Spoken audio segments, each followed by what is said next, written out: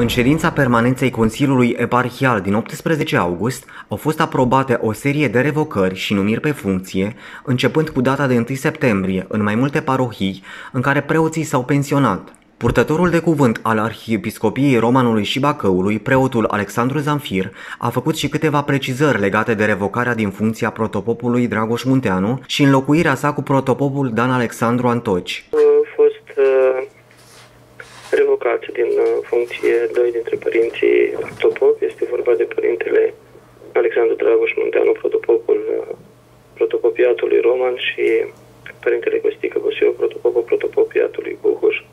Au fost numiți, evident, alți părinți protopopi pentru un mandat de patru ani, urmând ca funcție de activitate pe care o vor desfășura să fie reconfirmați într-un alt mandat, evident cu respectarea statutului uh, Bisericii pentru organizarea și funcționarea Bisericii Ortodoxe Române și a tuturor hotărârilor uh, Sfântului Sinod. Începând cu 1 septembrie, după pensionarea preoților Mihăiță Popovici și Rotaru, la parohia Precista Mică au fost numiți doi preoți tineri. În uh, Roman au avut loc sau au loc cu data de 1 septembrie două pensionari, doi preoți uh, foarte cunoscuți, iubiți, apreciați din uh, municipiu. Este vorba de Părintele Mihaiță Popovici, parohul parohiei Precista Mică și Părintele consulujitor de la aceeași uh, parohie, Părintele Constantin Rotaru.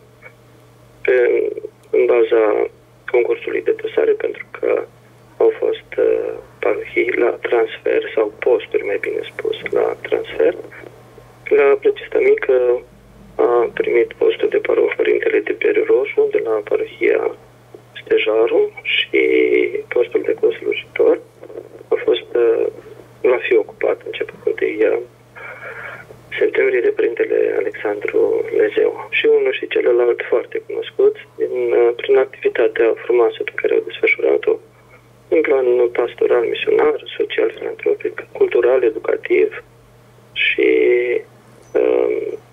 numirea lor este evident statutară. La parohia Stejaru a fost înfiat un diacon din Arhiepiscopia Dunării de Jos. Tot prin uh, transfer este uh, venit un uh, părinte înfiat în Arhiepiscopia Roman și Bacăului, diacon, în vârstă de 41 de ani, o frumoasă activitate în Arhiepiscopia Dunării de Jos, a fost diacon o bună bucată de vreme, aproape 10 ani, în care a desfășurat în mod special Uh, activitate în plan uh, social filantropic. Purtătorul de cuvânt al Arhiepiscopiei a infirmat informația potrivit căreia protopopul Dragoș Munteanu ar fi fost înlocuit din funcție din cauza zvonurilor sale de candidatură la funcția de primar al Romanului și a spus că este vorba doar de faptul că un mandat de protopop are patru ani și el poate fi prelungit încă cel mult un mandat două, pentru ca în felul acesta biserica să poată promova preoți tineri, având capacitate sporită de muncă. Preotul Dragoș Munteanu a fost numit cu aceeași dată